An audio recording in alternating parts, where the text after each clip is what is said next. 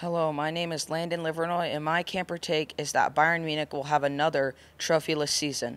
My first reason is that in the Bundesliga, they were outclassed by Bayer Leverkusen and VfB Stuttgart last year, and I think they have no chance against those two teams to win the league.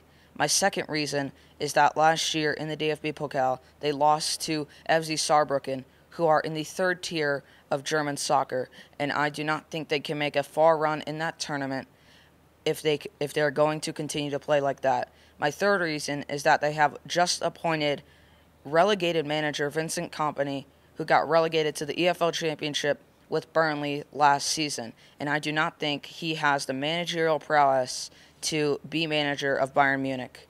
My name is Landon Livernoy, and that is my camper take.